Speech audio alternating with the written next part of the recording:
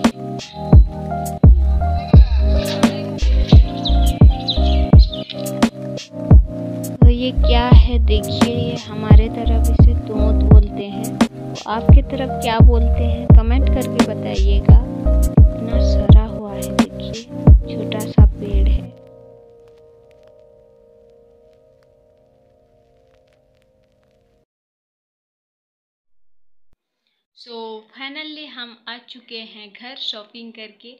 तो आज का ब्लॉग इतना में ही एंड करते हैं। Thank you for watching my video bye